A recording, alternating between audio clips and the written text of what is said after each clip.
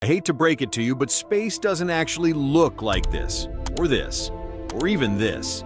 While space photography has advanced dramatically over the last 80 years, what we see in these images isn't exactly reality.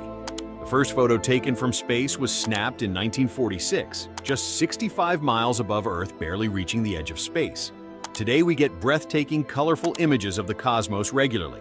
But here's the thing, those colors aren't what you'd see with your own eyes. Telescopes like the James Webb capture light beyond human vision infrared, ultraviolet, and even X-ray. To make sense of this data, NASA assigns colors through a process called false coloring. This isn't just for aesthetics. It reveals hidden details and structures in space that would otherwise be invisible.